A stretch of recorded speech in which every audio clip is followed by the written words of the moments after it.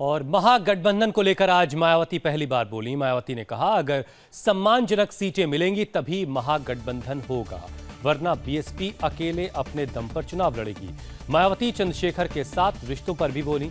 मायावती ने कहा कि उनका चंद्रशेखर से किसी तरह का रिश्ता नहीं है। इतना ही नहीं, मायावती ने आज बीजेपी सरकार पर भी हमला बोला और कहा कि लगातार बढ़ रही तेल की कीमतों ने जनता की कमर तोड़कर रख दी। है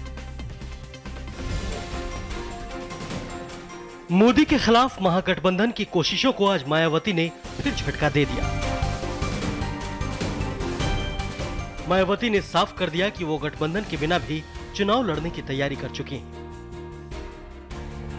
इससे पहले मायावती बैंक कर्ज के लिए कांग्रेस को जिम्मेदार बताकर राहुल को निशाने पर ले चुकी हैं। गठबंधन करके जो चुनाव लड़ने की भी बात कही जा रही है तो इस संबंध में भी हमारी पार्टी का शुरू से ही एक क्लियर कट स्टैंड रहा है। हमारी पार्टी कोई गठबंधन के खिलाफ नहीं है, समझौते के खिलाफ नहीं है कि हमारी पार्टी किसी भी पार्टी के साथ किसी भी चुनाव में तभी कोई चुनावी समझौता व गठबंधन आदि करेगी जब हमारी पार्टी को समझौते व गठबंधन में सम्मानजनक सीटें मिलती हैं। जिस भी पार्टी से हम अलायंस करते हैं, जब हमारी पार्टी को समझौते हुए गठबंधन में सम्मानजनक सीटें मिलती हैं, वरना फिर हमारी पार्टी अकेले ही चुनाव लड़ना ज़्यादा बेहतर समझती है। लोग अपने राजनीतिक स्वार्थ में तो कुछ लोग अपने बचाव में, तथा कुछ लोग अपने आप को नौजवान दिखाने के लिए भी, यंग दिखाने के लिए भी ज़बरदस्ती का मेरे साथ कभी भाई बहन का तो कभी बुआ भतीजे का।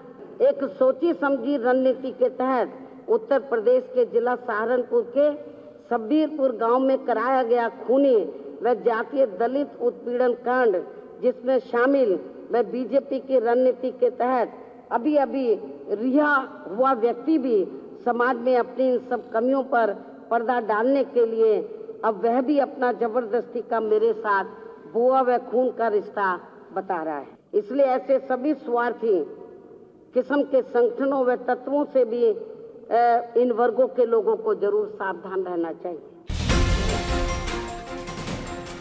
इससे पहले मायावती ने मीडिया को अपना बंगला दिखाया। मायावती ने सरकारी आवास छोड़ने के बाद यह आलिशान बंगला बनवाया है। ये बीएसपी के राष्ट्रीय अध्यक्ष मायावती का नया पता है नौ मॉल एवेन्यू। और काफ़ी ज़्यादा भव्य मकान है जिस तरह का तेरह ए मॉल एवेन्यू घर था मायावती का, उसी तरह का डिज़ाइन इस घर में बनाया गया है। और जो पोटिको जिस तरह का उस घर में दिखाई देता था, वैसी पोटिको है। यहाँ भी मायावती की मूर्तियाँ लगी हुई हैं। पीछे जो लॉन है, उसमें गौतम बुद्ध की मूर्तियाँ लगी है। और रेड सैंडस्टोन का इस्तेमाल इस घर में भी किया गया है, जो कहा जाता है कि मायावती को बहुत पसंद है। बंगले के अंदर भी मायावती की मूर्तियाँ हैं। सजावट शानदार है। दर दीवार पर मायावती का ही ज़िक्र है।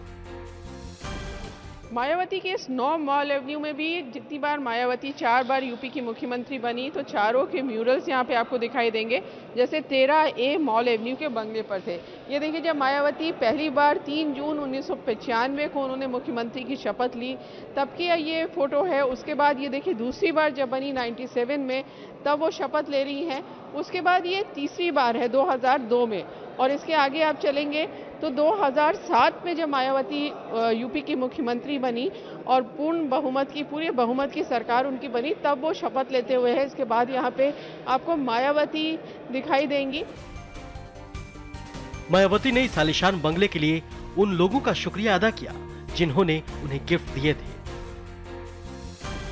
जो पैसा मुझे सीधा गिफ्ट के ज़रिए मेरे लोगों ने दिया है तो मुझे उस पैसे को इधर उधर खराब करने की बजाय इनके, और तो फिर मैंने दिल्ली में भी और लखनऊ में भी उसी पैसे से तो ये मकान खरीदा, बनाया। मैं बीजेपी का भी थैंक्स अदा करती हूँ। ना मुझे ये सीबीआई के ज़रिए फंसाते और ना मेरे पास ये गिफ्ट के ज़रिए पैसा आता और ना मेरा लखनऊ और दिल्ली में बड़ा भारी ये जो मकान बना है, ये कोई बड़ा भारी नहीं है।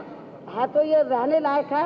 लेकिन इस बंगले में तो मैं और पार्टी का कार्य चले मायावती का दावा है कि वो तो इसमें रहेंगी ही, लेकिन बंगले के ज़्यादातर हिस्से का इस्तेमाल पार्टी के कामकाज के लिए होगा।